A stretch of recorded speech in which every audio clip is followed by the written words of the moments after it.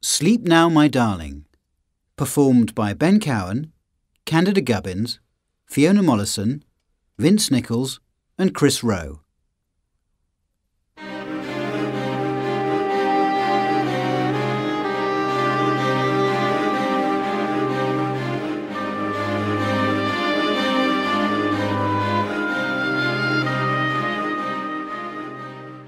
Sleep now, my darling. Scene 1. Jenny must stay at home.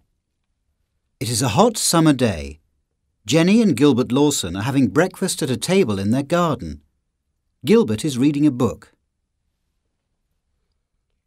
Gilbert, can I come with you to America? What? Oh, Gilbert, please listen to me.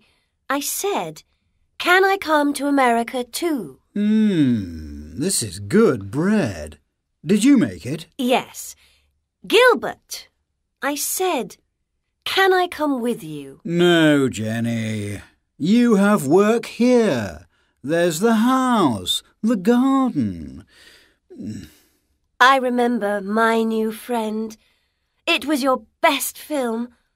It was my best film, too. They were happy days. Yes. I watched my new friend again last week.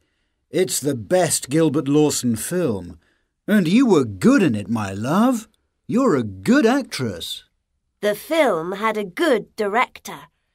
Gilbert Lawson. Oh, thank you.